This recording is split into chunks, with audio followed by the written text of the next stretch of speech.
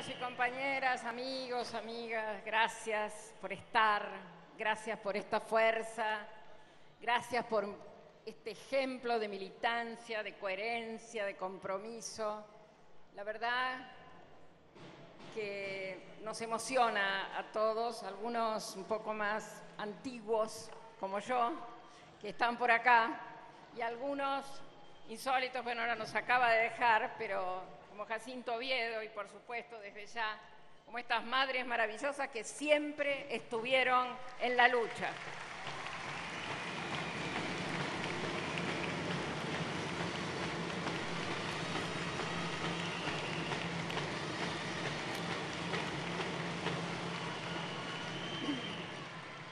Hay cosas muy obvias por las cuales estamos acá, por supuesto, que venimos a defender. Estamos por los 5 millones de empleos, estamos por haber recuperado el aparato productivo de la Argentina, estamos por haber recuperado como herramienta de los trabajadores los convenios colectivos que ya no se hicieron, dejaron de hacer por tantos años estamos por las mil escuelas, estamos por el aumento del presupuesto de educación, estamos por los miles de kilómetros de rutas que han empezado a vincular y a integrar realmente físicamente nuestro país, estamos por el aumento del presupuesto de ciencia y tecnología, estamos por supuesto por las asignaciones universales por hijos que han generado mecanismos de justicia y distribución.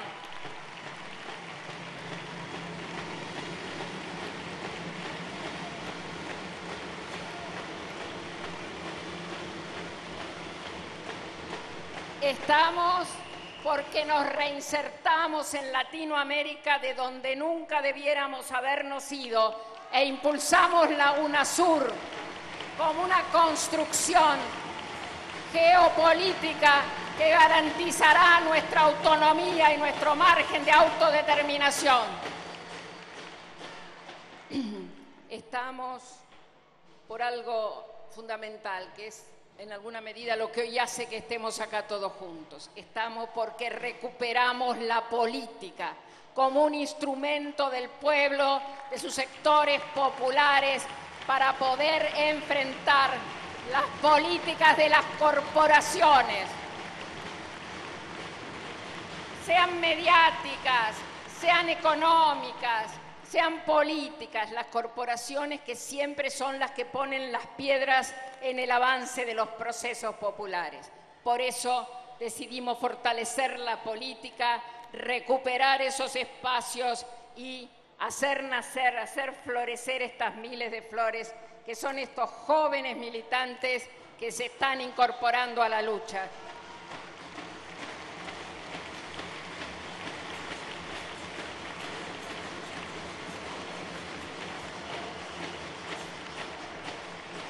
Pero lo más importante es que estamos ahora también por algo más.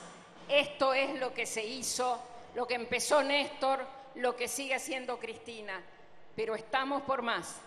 Estamos porque este tercer mandato de este proceso que se inició en el 2003 nos tiene que permitir profundizar, ya no consolidar solo, sino también profundizar, garantizar la igualdad en nuestro país después de que tantos de nuestros compatriotas fueron llevados a la miseria y a la exclusión.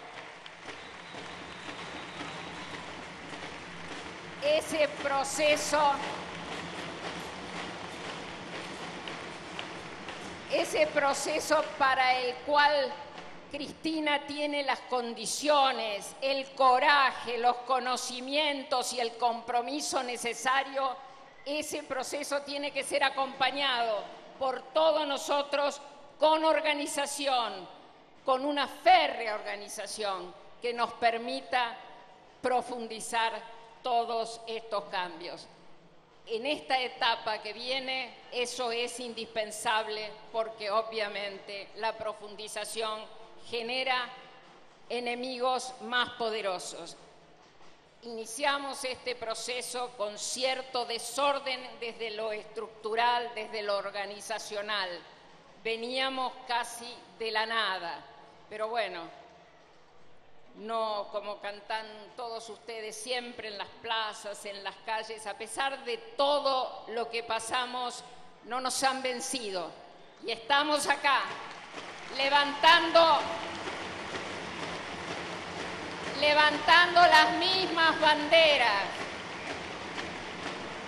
queriendo dar continuidad a las más grandes transformaciones del siglo XX, sociales y políticas que se hicieron en la Argentina con Perón y con Eva Perón, y también dando continuidad a las transformaciones que inició Néstor Kirchner en el siglo XXI y que continúa Cristina.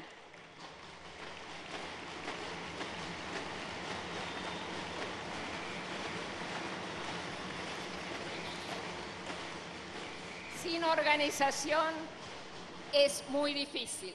Por eso, bienvenido este esfuerzo de los compañeros de la JP descamisada y de la corriente peronista.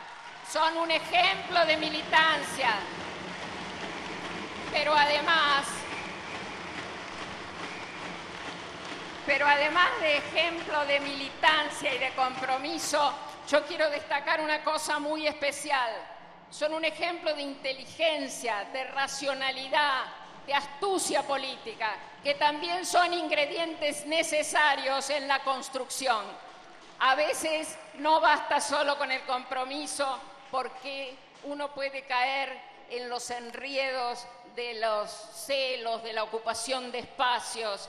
Y acá tenemos que tener muy claro que la etapa que viene requiere grandeza, pero requiere racionalidad, requiere esa capacidad de ver qué instrumento necesitamos, qué instrumento político necesitamos para poder realmente ayudar a Cristina en esta tercera etapa y para más aún, para seguir dando continuidad al, proceso de transformaciones en etapas posteriores. La destrucción que sufrimos en los 90 no se resuelve fácilmente, antes iniciada con una destrucción todavía más miserable, que fue la de los mejores cuadros de nuestra generación, en un genocidio terrible.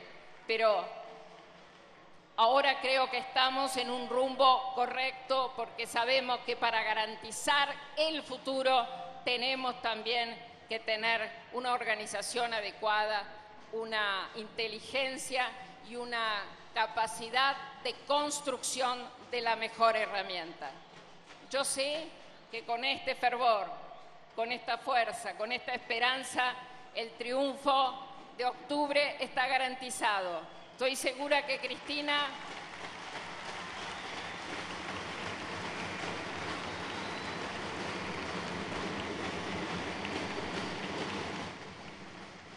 estoy segura que vamos a poder apoyar a Cristina en la tarea que va a emprender nuevamente a partir de diciembre. Pero lo que más me llena de satisfacción, de alegría y de esperanza es saber que tantos jóvenes que no son futuros, son presentes hoy en día porque Cristina busca la participación real de esos jóvenes en todos los estamentos del poder institucional para que después con normalidad puedan ser la sucesión de un proceso de cambios, de transformaciones, de reformas, de revolución popular en la Argentina.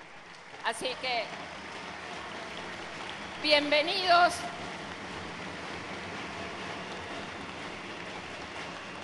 Bienvenidos a todos estos jóvenes que se incorporan y que realmente nos llenan de emoción.